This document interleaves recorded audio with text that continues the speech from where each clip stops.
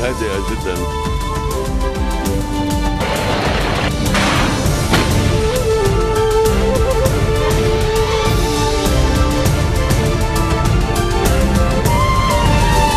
Good afternoon. You're watching the English newscast on Future Television. I'm Yumna Nofal, and these are today's top stories. Naameh landfill in the south stops receiving Lebanon's waste at midnight with the end of a two months time period that was set by the cabinet to reopen the landfill to receive the country's accumulating waste. At least 50 fighters, two civilians killed in clashes between rival anti regime groups east of Syria's capital. And Amnesty International accuses Yemeni rebels of carrying out a brutal campaign of arbitrary arrest and torture of opponents since they seized the capital Sana'a in 2014. The Naameh landfill in the south is to stop receiving Lebanon's waste by midnight with the end of a two months time period that was set by the cabinet to reopen the landfill coming to an end. At midnight, the landfill will close its doors after receiving around 900,000 tons of waste that accumulated in several regions since the eruption of the crisis in July 2015, according to Agriculture Minister Akram Chehayeb, who followed up on the government's emergency plan. Although preparations continue to set up landfills at Bourj Hammoud and the Costa Brava site in Khalde to resolve the long-standing waste management crisis, fears have emerged that the plan may not be complete by the due date and that waste might accumulate on the streets once again.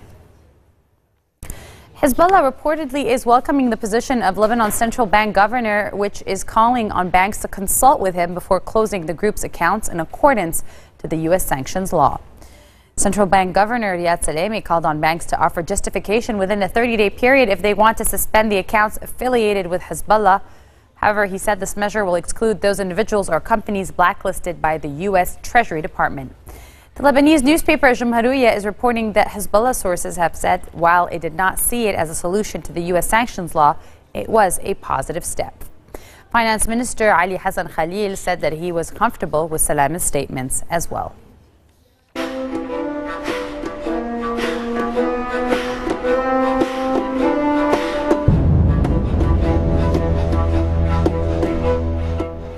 At least 50 fighters and two civilians were killed in clashes between rival anti regime groups east of Syria's capital, according to the Syrian Observatory for Human Rights.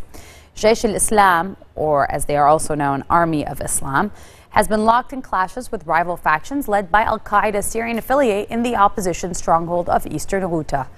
Observatory head Rami Abdurrahman said nearly three weeks of fighting had killed more than 500 fighters and a dozen civilians.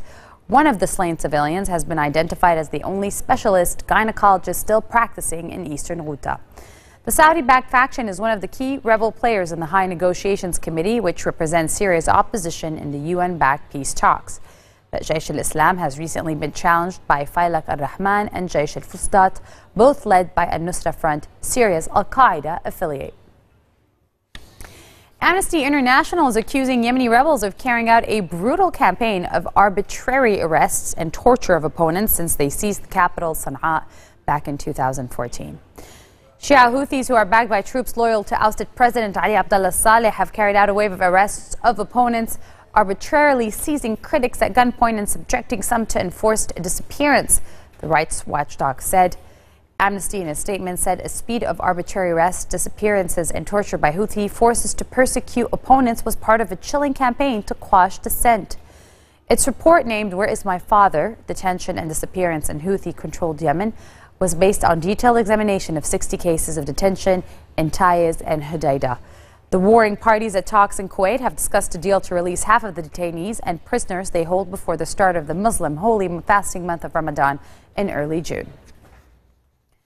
United States Senate passed legislation that would allow families of September 11 victims to sue the government of Saudi Arabia, rejecting the fierce objections of a U.S. ally and setting Congress on a collision course with the Obama administration.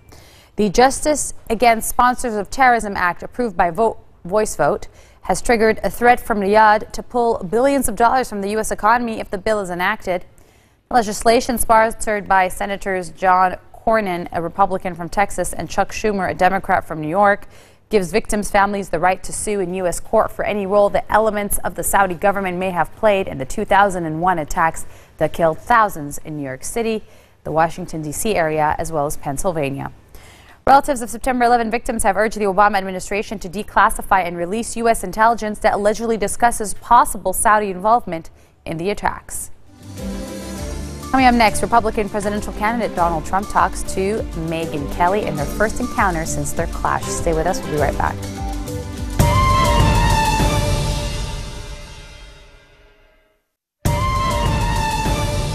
Welcome back. You're watching the 1620 o'clock news here on Future Television.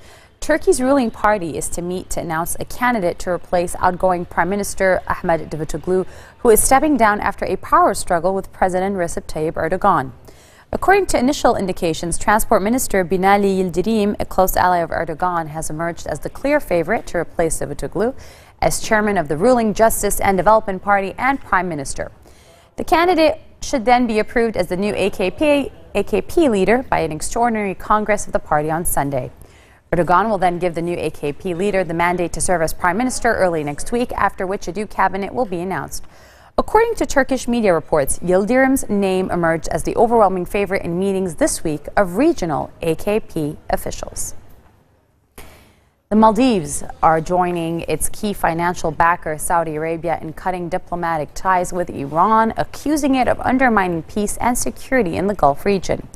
The Maldives Foreign Ministry said policies that Iran were pursuing in the Middle East were detrimental to peace and security in the region without giving further details. In a statement issued late Tuesday, the ministry said it was severing ties because stability in the Gulf was also linked to stability, peace, and security of the Maldives. The politically troubled Indian Ocean archipelago officially established diplomatic ties with Iran in 1975, although neither has an embassy or consulate in the other's country. The Maldives has tarnished its reputation as an upmarket honeymoon destination in recent years because of prolonged political unrest and a crackdown on opponents. Republican presidential candidate Donald Trump struck a conciliatory tone in an interview broadcast as he spoke to Fox News channel anchor Megyn Kelly in their first encounter since they clashed at a 2015 debate. Their quarrel began in August when, during a Fox News hosted Republican debate, Trump blasted Kelly over questions she posed to him regarding his history with women. Take a look. Uh, absolutely, I have regrets. I don't think I want to discuss what the regrets are, but absolutely, uh, I could have done certain things differently. I could have maybe used different language uh, in a couple of instances. But overall, you know, I have to be very happy with the outcome. And I think if I didn't conduct myself in the way I've done it, I don't think I would have been successful, actually. If I were soft, if I were you know, presidential. Okay, presidential. It's in a way, it's a bad word because there's nothing wrong with being presidential. But if I would not have fought back the way I fought back, I don't think I would have been successful. No. I don't view myself as that. I mean, I view myself as a person that, like everybody else, is fighting for survival. I, that's all I view myself as, and I really view myself now as somewhat of a messenger. You know, this is a this is a massive thing that's going on. Mm-hmm. These are millions and millions of people that have been disenfranchised from this country. I was in front of a group the other day, 25,000, at least 25,000 people. The place was going crazy. And I said, I'm like the messenger. And I have fans, you probably learned, and I didn't do this for this reason, but when you and I were having our little difficulty, um, you probably had some pretty nasty tweets sent your way. I, I don't want to say, but I've heard that. I don't want that to happen, but I have fans, they really love. We have an unbelievable bond. We have an but you retweet some of those. It's not just the fans. Yeah, but not the more nasty ones. You would be amazed at the ones I don't retweet. Bimbo? Uh, well, there was a retweet. Yeah, did I say that? Many times. Ooh, okay. Excuse me. What do you think with, I mean... Not the most horrible thing, you know, again, politically, not the most... over your life, Megyn, you've been called a lot worse. Is that right? Wouldn't you say? You know, you've had a life that's not been that easy. And It's not about me. It's not, it's not about me. It's about no, the, the messaging to, no, to, young girls and yeah. to but again, other it's, women. It's a certain amount of fighting back. You know, it's, it's a modern-day form of fighting back. I mean, it really is. But... Um, You're going to stop that as president? Well, I'm going to stop it about you now because I, I think I like our relationship right now, so I'm certainly not going to do it with you. Yeah, I, I think now so. you have my I, cell phone number. This. That is actually much more efficient. You gave me your cell phone and number. you promised you would not use it for evil. I don't know. I promise. I promise. I, you'll never see that. I will say this: if I don't go all the way, and if I don't win, I will consider it to be a total and complete waste of time, energy, and money. Harry Potter author J.K. Rowling received the Penn Allen Foundation Literary Service Award in New York and used her acceptance speech to deliver a message of tolerance. The English author used U.S. presidential candidate Donald Trump to make her point. Rowling is responsible for the Harry Potter series, which has been published in 79 languages, over 200 territories, and spawned eight films and three theme parks. Actress Sarah Jessica Parker presented her with the award and credited her with changing the landscape of children's literature forever and for the better. I am presenting J.K. Rowling with the 2016 Penn Allen Award.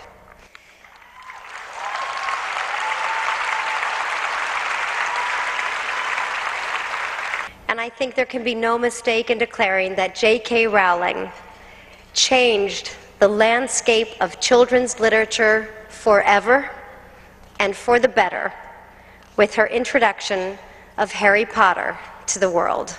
Speaking personally, I have very little to complain about where my freedom of expression is concerned. I was once confronted by a Christian fundamentalist in a toy shop here in New York. I had no idea the phrase, I'm praying for you, could sound so intimidating.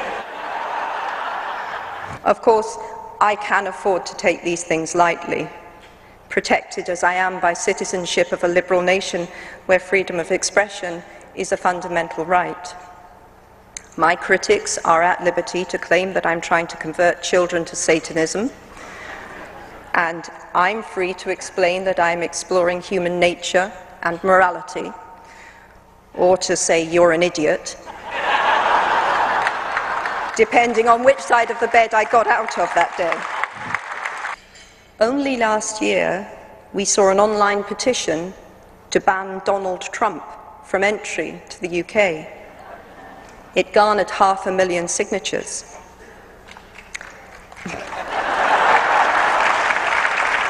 Just a moment.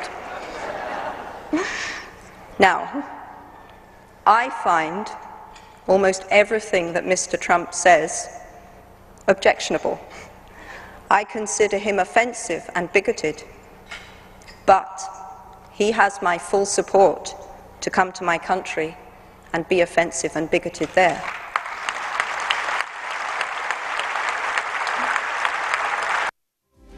This marks the end of our bulletin for today. Now for a reminder of our top stories.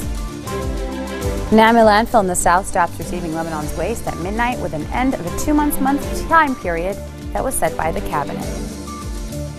At least 50 fighters, two civilians killed in clashes between rival anti-regime groups east of Syria's capital And Amnesty International accuses Yemeni rebels of carrying out brutal campaigns of arbitrary arrests and torture of opponents since they seized Sana'a in 2014.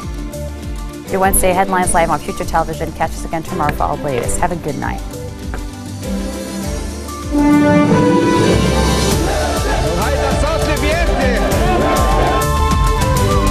هادئة جدا